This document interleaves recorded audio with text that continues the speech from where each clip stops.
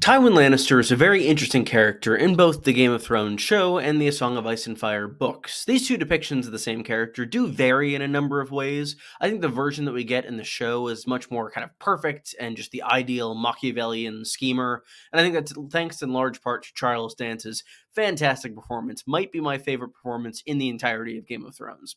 That aside, both versions, book and show, of this character are crucial to the plot of A Song of Ice and Fire, and it's very important to consider how he exactly became the man he is when the story starts.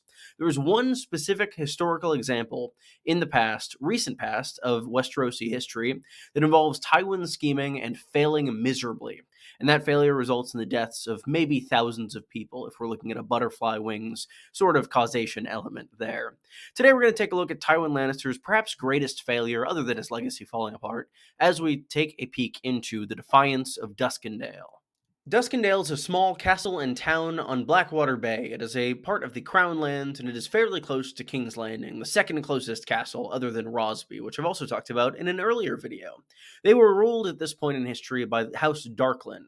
We see House Darklyn in House of the Dragon briefly. I believe there's a member of Rhaenyra's Kingsguard who is a Darklyn, but we do not see them in the main series for reasons that will become apparent. They uh, rule there for a very long time. They predate the Targaryen rule of Westeros, and overall, we don't really know much about their history other than the few historical figures that do crop up in the record. Before we get into the events that lead to this defiance, we need to talk about the relationship between a king and his hand. Aerys II and Tywin Lannister were initially introduced during the War of the Nine Penny Kings, this series of conflicts that were fought in the Stepstones in order to put down the last of the Blackfyre pretenders. At that point, both Aerys II and Tywin were not the king and the lord, but rather just a prince and some heir to the Lannister fortune. And because of that, they were able to kind of bond on the battlefield. I believe it was Tywin who knighted Aerys II. And overall, they were able to form this inseparable bond. However, that bond ends up breaking down as years go by. Aerys becomes king and sometimes makes some decisions that Tywin doesn't really like. There are a number of comments levied about Tywin's wife by Aerys as well during this era, and the two generally begin to bicker and not get along. It gets so bad that Aerys starts to just disregard anything that Tywin says, oftentimes doing the exact opposite, which very much gets on Tywin's nerves, as as we see in the main series, Tywin is someone you have to listen to or he gets very angry. This defiance began much the way many other real world conflicts began, that being a tax dispute. Lord Denys Darklyn refused to pay his taxes due to some anger that has been lost to the historical record. Aerys II was very angry about this, as you have to pay taxes to the king, and was going to deal with it in a number of ways. Tywin Lannister very directly advised Aerys II hey, do not go here, you should just send an army, they can deal with it in order to piss off his hand, assumedly, Aerys II decided to go in person and quell this rebellion in the flesh. He only brings one Kingsguard knight with him, Sir Gwayne Gaunt. However, when the two arrive, they are seized. The king is imprisoned, and Sir Gwayne is killed by Sir Symon Hollard, the master of arms of this castle. Aerys is shoved, his beard is pulled, and he is ultimately imprisoned. And there is essentially a massive catastrophe in which the realm is left without a king for one of the first times in Westerosi history. Lord Darklyn didn't kill the king, which I find a bit strange, but rather imprisoned him. Lord Tywin Lannister soon amassed a huge host and descended on Duskendale, just sitting outside the walls and attempting to figure out what exactly is going to happen next. Specifically because there is a very strange leverage to the situation, as the Darklyns do have the king as a captive, and Tywin does not want to at least appear to get his king killed at this point. This stalemate goes on for well over half a year. We're going to step away from the historical record, I'm doing air quotes for a minute here, so I can talk about some conspiracy theories that I wholeheartedly believe. Lord Darklyn, I don't think, could have acted alone in this instance. Kidnapping a king in this sort of monarchical system is essentially just a. You have to have a death wish to do it. There's no nothing he can hope to gain by holding King Aerys at this point. Either Aerys gets out and is able to just crush this house in return, or they kill Aerys and the house is crushed anyway. The only reason that Lord Darklyn would have done this was if someone promised him a pardon. My thought is that Tywin Lannister might have been behind this. Yes, he advised Aerys not to go to Duskendale, but as we said earlier, Aerys at this point was doing exactly the opposite of anything Tywin told him. If Tywin wanted him to go to Duskendale, he could not have acted any better.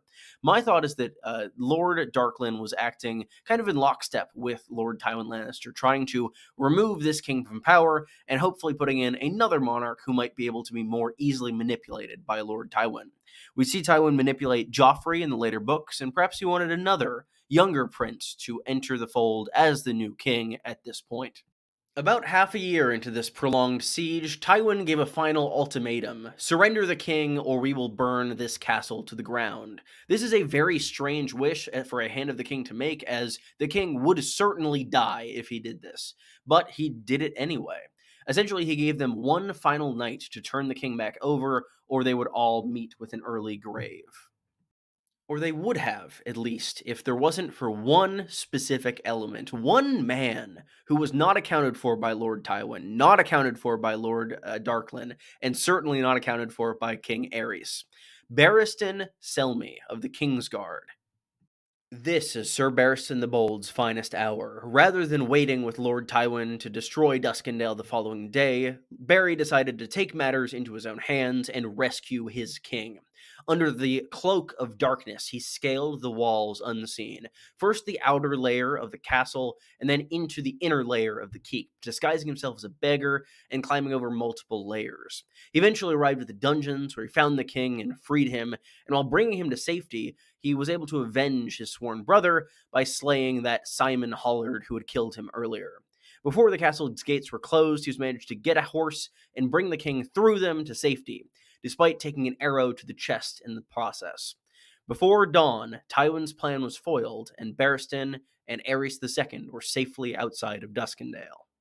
While this was a great feat for Sir Barristan, we later learn in his viewpoint chapters in A Dance with Dragons that it is tinged with regret. To quote from one of his chapters, if he had not gone into Duskendale to rescue Aerys from Lord Darklyn's dungeon, the king may as well have died there as Tywin Lannister sacked the town. Then Prince Rhaegar would have ascended the Iron Throne, mayhaps to heal the realm.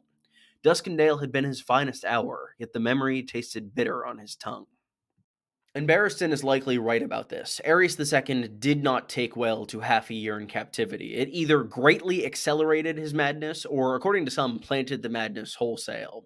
He was not the same man coming out of that dungeon, and we saw it nearly immediately, as his vengeance was immediate and terrible the entirety of Lord Darklyn's line was wiped out, and House Hollard was executed as well. Only one survivor was left, that being Dontos Hollard, who we encounter in the main series. Overall, this is a tragic event, and we see almost mirroring Tywin, his once very close friend, and how he dealt with the Reynes and the Tarbecks when they rebelled. I think the Defiance of Duskendale is something that should be considered when thinking about Tywin Lannister. I think it's a very great kind of litmus test for how you look at him. I think that it is a very complicated scheme and one that really, by all accounts, should have gone quite well for him. His only downside was thinking that Barristan was human. Uh, but overall, it does show that Tywin is a mortal man. He has failed, and he does fail. We see that especially in the main series when his entire legacy collapses within, I'd say, a month of his death, as his children are not living up to his legacy and he is no longer around to enforce the fear that kept everyone in line under the Lannisters. And this may end up returning in Barristan's story later on as well, specifically the fact that we see his finest hour turned bitter with the shade of memory. I think that that could very much be telling as to his actions in Meereen as well. It's important to think about when he's remembering this. He's remembering Duskendale partway through his coup against Hizdahr zo Loraq, a coup that is likely going to be entirely backfiring on him, given the fact that there is very little evidence that Hizdahr is the Harpy. In the books, in the show, he's probably the Harpy with that said, I think that that is a very interesting area, and I think that we will see in the Winds of Winter that maybe Barristan made the wrong choice there, and it will come back to bite him as he is currently riding to battle, followed by disloyal sellswords and pit fighters who hate him because he killed one of their own. I'd love to do another video on Meereen at some point, or just that entire situation, or who the Harpy is. Uh, let me know if you're interested in that. I, would love to talk about it, but I know that uh, Daenerys' plotline in Dance with Dragons is somewhat contentious, to say the least. Thank you so much for watching. If you enjoyed this video, be sure to leave a like and subscribe. I really appreciate it, and it really helps me grow the channel. What do you think of Tywin Lannister? Do you agree that he is kind of a different character in the books and in the show? Do you think they're more or less the same? I'd love to hear your opinions and thoughts, and I'd love to hear other suggestions for things I should cover before. This is very history-oriented for one of my videos, which is kind of fun. It's making me go back to my history teacher days a little bit, even if I'm just recounting fake history in this case. I really appreciate all your time watching, and uh, yeah, thank you so much. I will be back with more videos in the very near future. See you soon.